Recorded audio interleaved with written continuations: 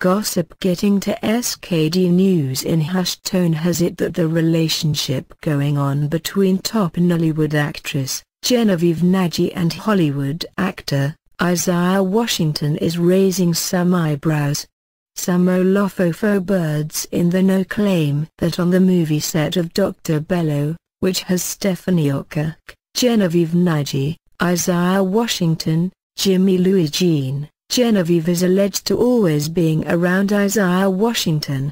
We were told that some have started to insinuate different ties and meanings to their closeness lately. The bird that claimed to know what is going on between the two actors told SKD News that though Genevieve seems to know about this notion people have about her closeness to Isaiah, but she seems not to bother herself about it. The amoeba further said that both Genevieve and Isaiah are most times sighted together even leaving location.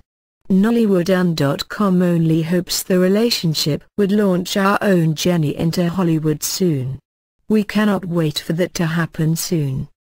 Dr. Bello is a movie produced by Tony Abulu. It is currently still being shot in Nigeria.